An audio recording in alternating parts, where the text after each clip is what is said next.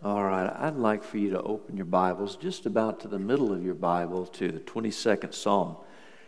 Now, this is one of those things you read in the Bible. Sometimes you, you, you get moving toward the things you really, really like and you really are familiar with. And, and uh, if you're at Psalm 22, you, you might as well just go on to Psalm 23, right? And the Lord is my shepherd, the most probably familiar of all the 150 Psalms. But Psalm 22, it's a great psalm for uh, Lord's Supper Sunday in July because we're in a series. We're singing our way this summer through the Psalms. These are songs of the faith in the Psalms.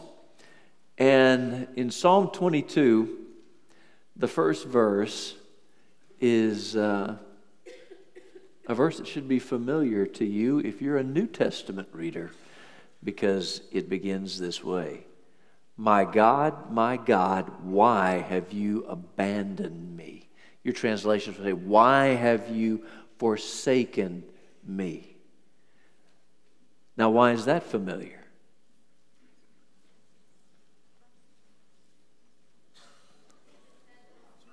I thank you. I'm, one person knew. The rest of you just afraid it was a trick question, weren't you? Yeah. Uh, yeah, Jesus, it's one of Jesus' seven sayings from the cross. And, and, really, one of the most questioned and confusing things he said from the cross, the one that's hardest for us to understand. And the reason it's hard for us to understand is because we haven't read the whole 22nd Psalm. It sounds so hopeless and hard and dark when you read the first verse. Jesus says it from the cross and it points to everything else that the psalm says. And what a powerful prophetic word from God the 22nd is. This opening cry, fulfilled fully, and by the way, a lot of things about prophecy, most things about prophecy, uh, we, like to, we like to make prophecy about, it has nothing to do with the people who heard it in Bible times, it has to do with something way in the future. Prophecy means something to the people who heard it the first time. And sometimes there is a greater meaning, a more complete, fulfilled meaning out there before it. And this is one of those occasions, most certainly. This echoes uh, in the distant past what would become the clear declaration of Christ from the cross that cry of uh, abandonment, forsakenness as he hung upon the cross. Mark 15 34. I'll give you just lots of verse references like that along the way. But there's a whole lot more here. Because, see, before these words were the words of Jesus from the cross on a Friday as he hung on the cross. These were the words of David, King David. And David's own feeling of suffering as he lived in a world broken by sin. And because of that, things Things were hard, things were difficult. He was confronted regularly by challenge. It paints this portrait of life in dark gray tones, I think, for us. We see the reality of hurt. We see the, the truth that there is difficulty in this world, that we struggle and suffer and have pain and challenges, but we also find hope as we read on through the 22nd Psalm. Hope that transcends whatever we face, whatever obstacles uh, that are yet before us, whatever burdens that we carry, we find hope over pain and loss. The transparency of the 22nd Psalm, uh, as David just expressed, he's, he's, he's not a guy who uh, we do this. We do. We do, you know we do this. We put on our we put on our Sunday go to meeting clothes when we come on to church, and we everything's good. How are you? Good. How things? Fine. Oh, but the, it's not so good, and it's not so fine. David's at least an honest guy in his walk with the Lord. Sometimes he's really excited and everything's good, and sometimes it's hard and everything seems dark and bad, difficult, challenging. And when it's like that, he expresses that too. He lets other people into his brokenness, into his hurts, into his struggles. And He seeks the Lord, he seeks the support of other followers of his God, and we ought to do the same. The Holy Spirit is ultimately pointing in, a, in the words of David to the one who is a man of sorrows and acquainted with grief, the coming King, Jesus Christ. So here, here we are. For our sakes, the Holy Spirit recorded David's real life experiences in such a way that would perfectly foreshadow what would happen just about a even thousand years later when Jesus would be suffering on the cross, crucified, dying for our sins. This is a, this is a real revelation you're about to hear from me. Sometimes life hurts. Sometimes it hurts a lot. And some of you know that story and you feel it today. Sometimes God feels far away. Sometimes you feel forgotten by God, forsaken by God, a little bit of abandoned by God. And even though you know in your head and your heart that is not so, it's still how it feels. And David expresses those kind of feelings. But just know this Jesus says, My God, my God, why have you abandoned me? Why have you forsaken me from the cross on that Friday? But Jesus, in his perfect knowledge of the Word of God, he knew the rest of the psalm too. And we need to get the rest of the psalm locked away in our heart. It's okay to feel what you feel. However, there's another good story that's out there. And it's a story of hope. And it's a story of blessing. And it's a story of fellowship with a God who loves us very much.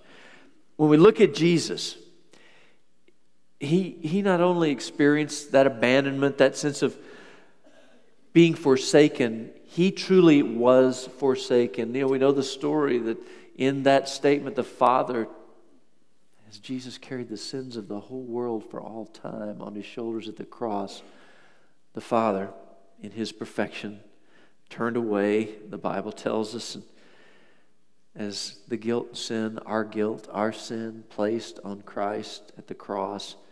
And Jesus took our punishment for us.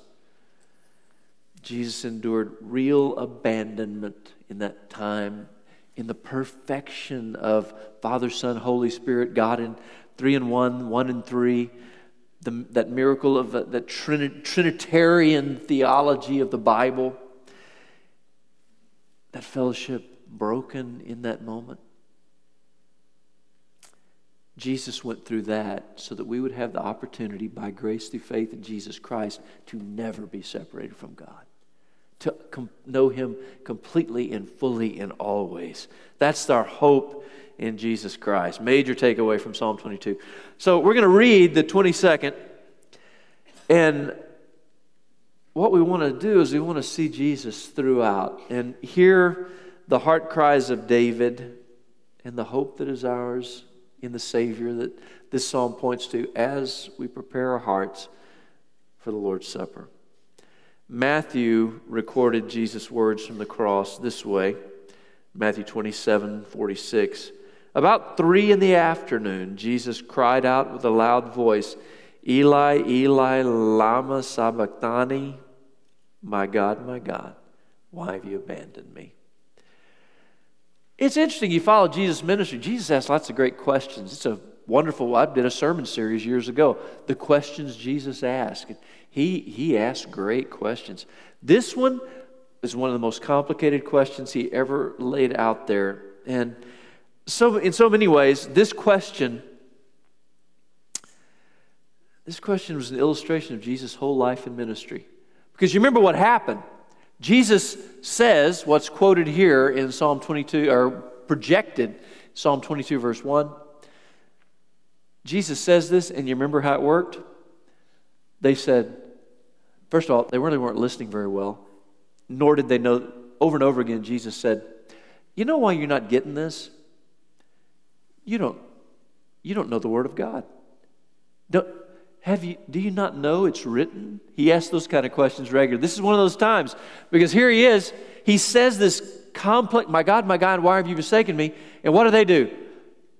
Eli, Eli, and they go, wait, wait a minute. They're not listening. and they don't know the Word of God. And that's what happens to us often in relationship to God. We're really not listening to Him, and we don't know the Word of God. This is why we're, we are moving forward to, to focus heavily, uh, after school starts, a series on the Word of God, opening up the Word of God so that we are leaning into it more and more as a people because it's so key. If you don't know the Word of God, you're just going to miss a lot about what life is about, what God's purpose is for you personally and for this world in which we live. They weren't listening. Eli, Eli, they said, I think he's calling for Elijah. They're off on a tangent, heading the wrong way. Jesus was often misunderstood. And the sad part is, he was misunderstood by his enemies, he was misunderstood by his friends. Now, at the cross, in that statement of Christ, what looked most as a defeat becomes Jesus' greatest victory. And as Christ spoke to the sin burden that he carried, and he carried it away through his shed blood at the cross, and he overcame through the resurrection and all was most well when all seemed most lost. It sounds hopeless in Matthew unless you have the context of Psalm 22. It's a cry to God declared with hope and of ultimate victory. So, Psalm 22 is just filled with images of the cross, and we're going to read through and then we're going to reference several of these. The psalmist wrote in a time of despair. As he shares this, David says, verse 1 and we'll just read oh, the first five verses here. They're put in your program. My God, my God, why have you abandoned me? Why are you so far from my deliverance, from my words of groaning? My God, I cry by day, but you don't answer. By night, yet I have no rest. But, but, oh man, we just took a big turn in the road. Things just changed. The light just came on. He says, But, however, yet, you are holy, enthroned on the praises of Israel. Our fathers trusted you. They trusted and you rescued them. They cried to you and were set free. They trusted in you and were not disgraced. Man, that's a whole lot of hope. And I'm glad the road turned because as hopeless as verse 1 is, oh, it's quickly quickly pivots toward a great and glorious, encouraging kind of message. Some of you today walked in and you're living under a dark cloud. Uh, times are hard, and you've cried out to God, Where are you? Why are these things happening to me? Why do you seem so silent? What are you up to in this? And the answer of God is He still loves you. He still loves you. He's still on his throne. He still has a plan and he's working it. And you can rest securely in the promises and purposes of God by faith in his son Jesus Christ. Trusted, trusted, trusted. Trust him. It's why God gave his one and only son. It's why Jesus came. Everyone who has been born of God conquers the world. And this is the victory that has conquered the world our faith. Trust in him. Verse 6. And we're going to read a ways down here. Listen, listen for the cross clues along the way. But I am, uh, he's, again, David says, he's talked about how glorious God is, and then he, he sees himself as he is, but I am a worm, not a man, scorned by mankind, despised by people. Everyone who sees me mocks me, they sneer and shake their heads he relies on the Lord. Let him save him. Let the Lord rescue him since he takes pleasure in him. It was you who brought me out of the womb, making me secure at my mother's breast.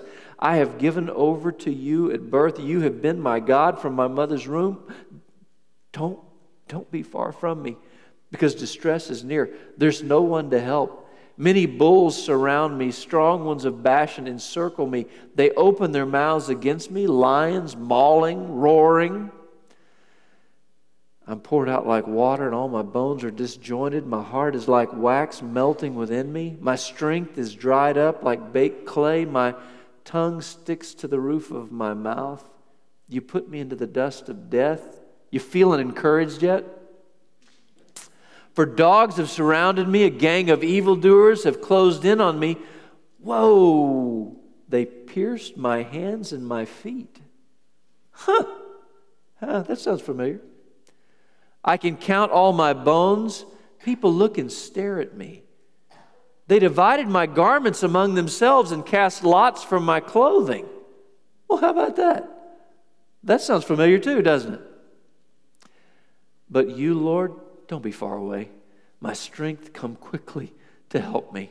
Rescue my life from the sword, my only life from the power of the dog. Save me from the lion's mouth, from the horns of wild oxen. And uh, then that little phrase, you answered me. And I'm so glad you answered me. Let's look at this.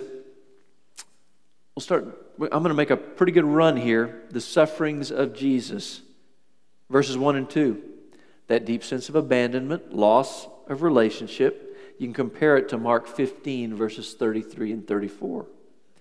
Despised by others in verse 6.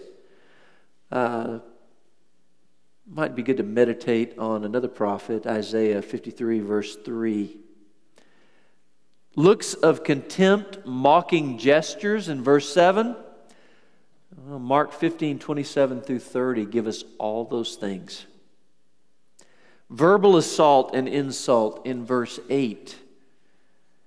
You see that fulfilled in Mark 15, 31, 32, Luke 23, 39. Alone and in trouble, verse 11. Alone and in trouble. For an example, Matthew 26, 38 through 40. Surrounded by enemies, uh, verses 12 and 13. Well, Matthew 26, uh, 43 through 46 give us some good indications. Crushed spirit, physical exhaustion to the point of death, verses 14 and 15. You meditate on John 19, 28 through 30. Intense pain, uh, physical abuse, verse 16. John 19, 1 through 3 describes some of that. Uh, Luke 23, 23 does as well. Verse 17, humiliation. Uh, one example, Luke 23, 35. The shame of nakedness, verse 18 fulfilled in Matthew 27, uh, verse 28, and then uh, on down, verse 35. Need for outside help, verses 19 and 21 of the 22nd Psalm. Mark 14, 35 through 36, uh, Mark 15, 20 through 21. I'm going to touch on those things. So you have, you have all these allu- uh, allusions alluding to the story of the cross and what happened to Jesus there prophecies fulfilled in such uh, extreme detail. By the way, uh, just as a side note, this is we're gonna. I talked about focusing on the Bible this fall. We're to focus on the Old Testament. You know what? Some people often ask me, "What is the best commentary?" If I was just to get a commentary on the New Testament, what is the best commentary I could buy on the New Testament? The Old Testament. The Old Testament is the best commentary you will ever have on the New Testament. But we're going to focus in on some Old Testament things because this is why we so misunderstand so many things in the New Testament. We don't know the Old Testament. So we're going to get better at that in 2019. Mingle throughout this story of suffering and pain and difficulty and burden. We see some truths about the character of God. God, our source of strength, God, our source of hope. Verse 3 God is holy. God is sovereign. Verse 4, God is trustworthy. Verse 5, God is dependable. Verse, verses 9 through 10, God is near. He's not far off. He is God who is near us. We'll talk more about that in a moment. God is our helper, verses 19 through 21. Now, as the psalm is winding down to its ending, you see more and more glimpses of David's faith in God, his, his belief in the unfailing nature of the God he loves, and also faith for David that one day there's coming a Messiah. One day the promised one of God is going to come to this earth and God's kingship is declared. Uh, verses 27, 28, All the ends of the earth will remember and turn to the Lord. All the families of the nations will bow down before you, for kingship belongs to the Lord. He rules the nation, and there is coming a day when that will be full and final in declaration declared and lived out, uh, visible to the world. Now, while David continues to seek the tenderness and the love that flow from God's heart, uh, we see, verse 24, God is aware of your suffering. For he has not despised or abhorred the torment of the oppressed. He did not hide his face from him, but listened when he cried to him for help. God uh, also, verse 26, he'll take care of you. The humble will eat and be satisfied. Those who seek the Lord will praise him. May your hearts live forever. That's who our God is. Life hurts, but God heals. And God heals through Jesus, the Son. Because of Jesus' suffering, this is what you can be assured of. You can be assured that whatever you hurt today, whatever the hurts that you came in here carrying from the past, whatever your hurts, whatever your grief, whatever your burden, your loss, none of that is outside of God's understanding, His compassion, or His ability to take the most broken parts of us and to redeem them in eternal ways. He takes things that are broken and He makes them whole. He is the Redeemer and the reconciler. So, when your heart is broken and your soul is disillusioned, Turn your eyes to Jesus because He not only cares about you, He understands what you're feeling and what you're going through. And He is the, uh, old hymn says, the lover of your soul. So here's this psalm, and it references, uh, in its references, it reminds me of uh, several things about Jesus as we focus on the Lord's Supper today. It reminds me of his humanity. Jesus, fully God, fully man, 100% of each in the miracle of the incarnation, God becoming flesh. He came to identify with us, He came to live among us. He came to show us what is God like? How can you really know God? I can read about it here, but when we see Jesus, we see God. This is what God is like. What would God do in this situation? What did Jesus do in that situation? And you start learning this is who God is, this is what God is like, and this is also how God expects me to live, what God expects for my priorities to be aligned uh, in. So Jesus took on a frail human body, lived in a sin broken world, suffered and sacrificed, died a criminal's death on a cross, and all that for me and for you. To pay our sin debt that we might be set free from sin. I think about the prophet Ezekiel. Ezekiel went to visit the exiles, Babylonian exile time. And he went, and the Bible says this this is Ezekiel's testimony. He said, I came to the exiles at Tel Aviv who were living by the Chebar Canal, and I sat there among them, stunned for seven days. Jesus came and there was a time, he came and he sat among us. He lived on this earth like we live on this earth. He experienced on this earth what we experience in struggle, in pain, in temptation, in relationships.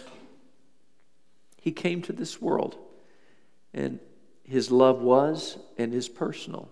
And he is not God far off, he is God with us, as the prophet uh, said to uh, the, the angel said to Joseph, Behold, the virgin shall conceive and bear a son, and they shall call his name Emmanuel.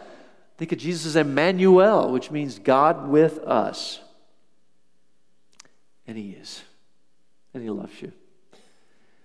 And if you have never surrendered your life to Him in faith and commitment, today is a good day to say yes to Jesus. Today is a good day to begin a relationship to Jesus Christ.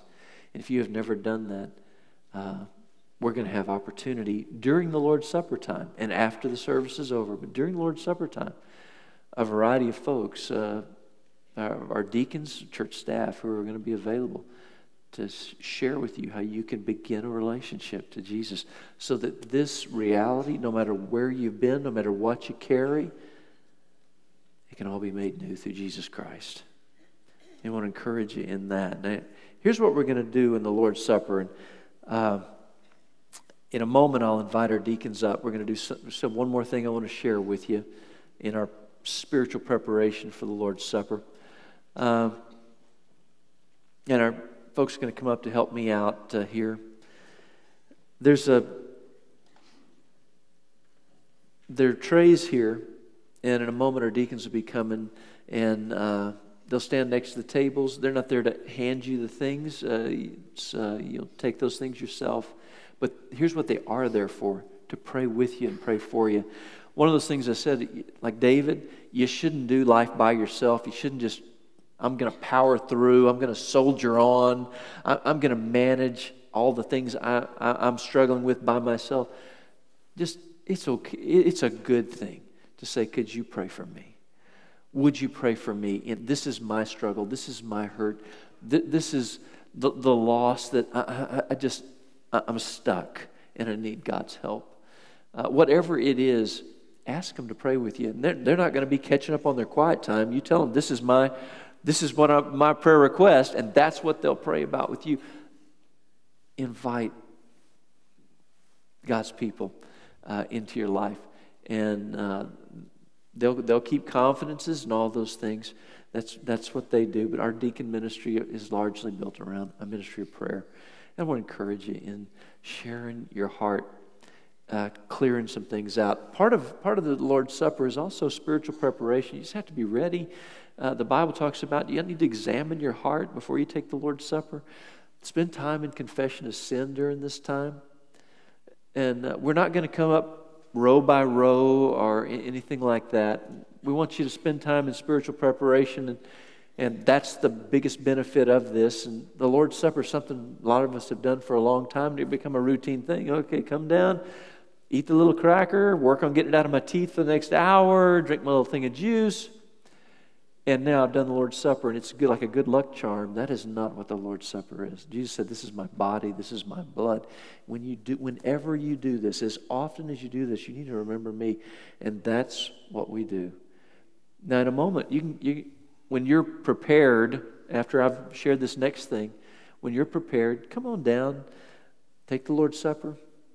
Let somebody pray with you, pray for you. You can come individually, you can come as a family, as a couple, with friends. And maybe sometimes folks just kneel different places in the building, move to the edges of the building, and uh, spend a little time in prayer together with someone else, or just you and the Lord, just getting things squared up. Uh, some, sometimes, uh, uh sometimes uh, in my, my personal prayer time, and I've done this in Lord's Supper times, God's, we all, we all good?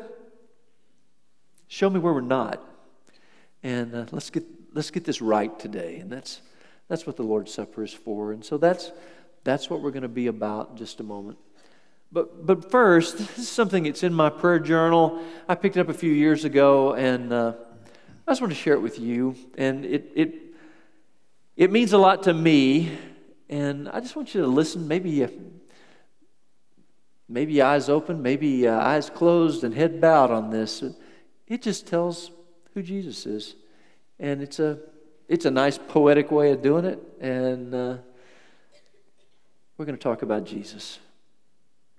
Here's what it says Jesus Christ is a wonderful, glorious person. To his people, he is altogether lovely. He is their advocate. He is the angel of the covenant the author and finisher of faith. He's the Alpha and the Omega, the beloved, the shepherd and bishop of souls, the bread of life, the bridegroom, the bright and morning star. He's the brightness of the Father's glory and the express image of his person. To his people, he's their creator, captain, counselor, covenant, cornerstone, the chiefest among 10,000. To them, he's the dew, the door of the fold, a diadem, a day star, a deliverer, and the desire of all nations, ranks, and generations of his followers.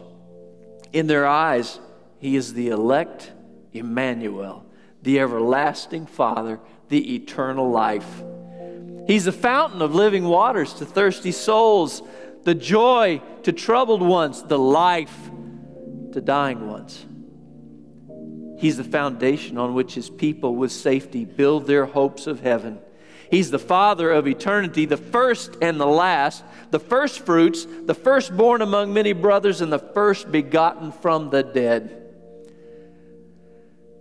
To his chosen, he is the most fine gold, guide, governor, a glorious Lord, God, the true God over all, God blessed forever. He's the head of the church, the hope, the help, the husband, the heritage, and the habitation of his people. He's the horn of their salvation and rides upon the heavens. He is the Jehovah of armies, the inheritance, the judge, the king of his people. He's their light, he's their life, their leader, their lawgiver, their atoning lamb, the lily of the valley, and the lion of the tribe of Judah. He is the man, Jesus the Christ the master, the mediator, the minister of the true sanctuary which the Lord has pitched, and not man. He's the mighty God of Isaiah. He's the morning star of John. He's the Michael of Daniel, the Melchizedek of David and Paul, and the Messiah of all the prophets.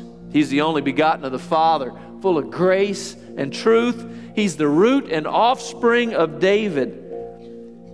He is the peace and the prince and the priest and the prophet and the purified, the potentate, the propitiation, the physician, the power of God, and the Passover of saints. He's the rock, the refuge, the ruler, the ransom, the refiner, the redeemer, the righteousness, and the resurrection of humble souls.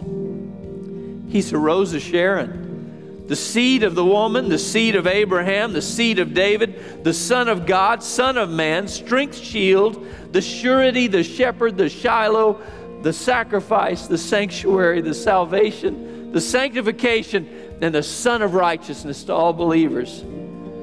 He's the holy thing that was born of Mary. He is the truth, the treasure, the teacher, the temple. He's the tree of life. He's the way and the well of salvation, the Word of God, the wisdom of God, the faithful witness. He is the wonderful one. His person is one, His natures are two. He's both human and divine, finite and infinite. He was before Abraham, but not born until long after Abraham. He was dead and is alive forevermore. He has the arm of God and the heart of a brother. None loves like him, none pities like him, none saves like him. It is no marvel the children love him. That the saints praise him, the martyrs die for him, the sorrowing long for him, the humble trust in him, and the penitent pour out their hearts before him. The believing lay fast hold of him. His frown shakes the heavens. His smile gives life. His presence converts dungeons into palaces. His blood cleanses from all sin, and his righteousness is the white robe of the redeemed. If you would be safe or wise or happy or holy or useful or strong or victorious, look to him and look to no one else. Walk in him, abide in him, glory in him count as loss all things beside him. Look to this day the wonderful, glorious Christ Jesus. And it is in his name. Amen and amen and amen.